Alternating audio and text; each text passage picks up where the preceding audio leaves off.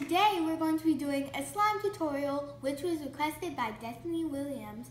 So let's get started. You will need one 4 ounce bottle of Elmer's glue, food coloring which is totally optional, 1 tablespoon of contact lens solution, and 1 and a half teaspoons of baking soda. First, you will need to empty out a whole bottle of Elmer's glue in any container of your choice.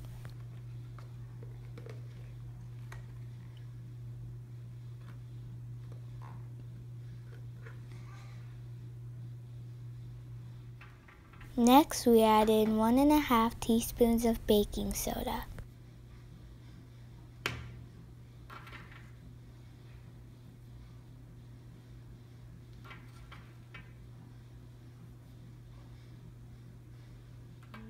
Gotta stir it up.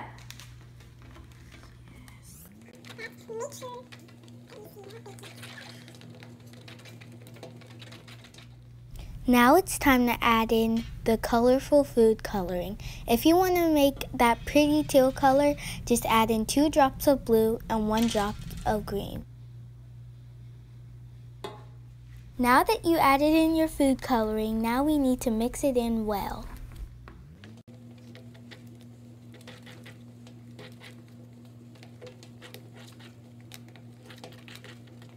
Now we're going to add in one tablespoons of contact solution.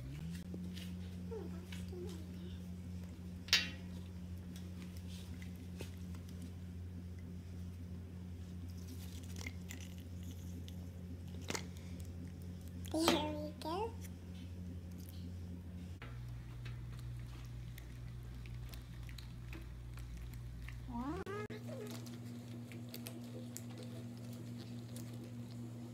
Now you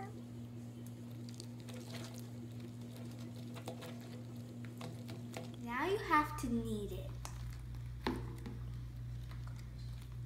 And it's going to be sticky. So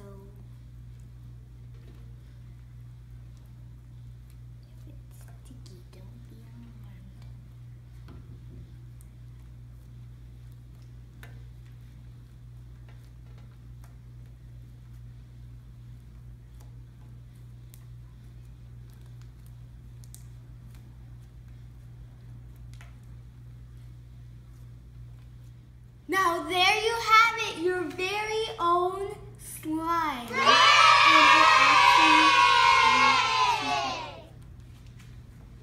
Just a bit, stretch it.